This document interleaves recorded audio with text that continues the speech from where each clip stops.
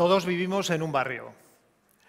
Vamos a imaginar uno cualquiera de los nuestros. Por un lado, unas personas eh, mayores jugando a las cartas, por el otro los niños, bien acotados, un grupo de inmigrantes que se relaciona generalmente siempre en el mismo lugar, por todos lados personas desocupadas. Grupos de personas aislados entre sí, como islas flotando en el mar del barrio. En nuestro grupo, que yo represento, pero que está formado fundamentalmente por mujeres, nos preguntamos cómo se podrían establecer, crear esos lazos que permitan que se enriquezca la vida de los barrios. En primer lugar, pensamos en el, en el dónde.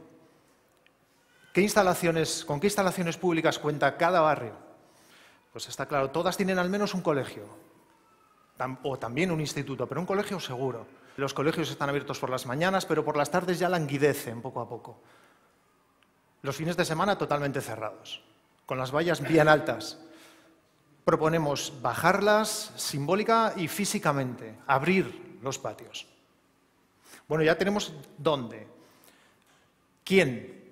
Según nuestra propia experiencia, las personas que reúnen mayor energía, ilusión, creatividad, talento y al mismo tiempo eh, acumulan menos prejuicios son las niñas, los niños, los jóvenes. Ellos también en el barrio viven un poco como de prestado, en esos cotos cerrados que decíamos. al margen de ahí son extraños, asediados por los coches.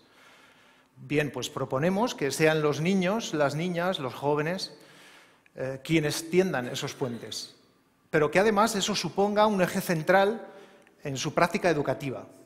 Pongamos un ejemplo. ¿No os parece que podría ser interesantísimo que mm, los chavales fueran eh, los registradores de la memoria de las personas mayores que viven en la residencia de su barrio, visitándoles, fotografiándoles, haciendo eh, registradores, historiadores de su memoria? Que grupos de personas mayores crearan, mantuvieran un huerto en el, en el colegio, que gestionaran una biblioteca que estaría abierta al barrio. Al mismo tiempo, seguro que en vuestro barrio hay grupos de chavales que se reúnen a bailar, debajo de un puente, en cualquier lugar, en la calle, pero no deberían estar mucho mejor en, el gimnasio de su propio instituto. Usarlo también para reuniones de personas, eh, de asociaciones, de cualquier tipo de asociación del barrio. Como veis, todo cabe. Pero cuidado, más allá de usarlo simplemente como, como, un, eh, como, como un, lugar, queremos que sea un lugar de, eh, de encuentro, que se establezcan ahí esos lazos que suponga un zoco de interacciones central en el barrio.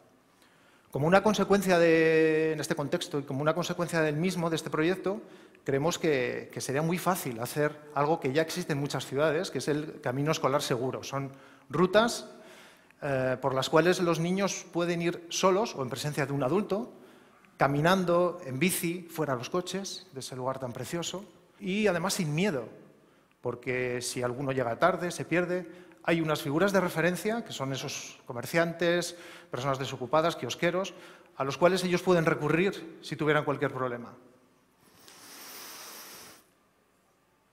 No menos importante es la dimensión estética.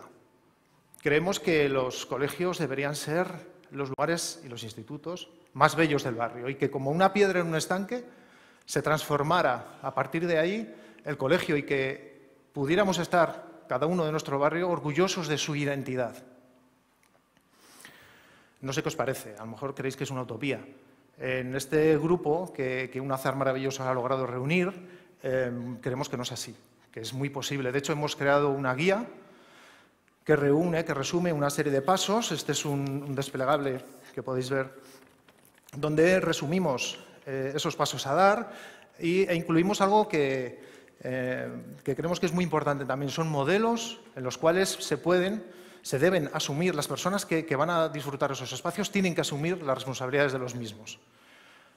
Es evidente que van a surgir conflictos, pero creemos que lejos de eh, debilitar el proyecto lo tiene que hacer mucho más robusto.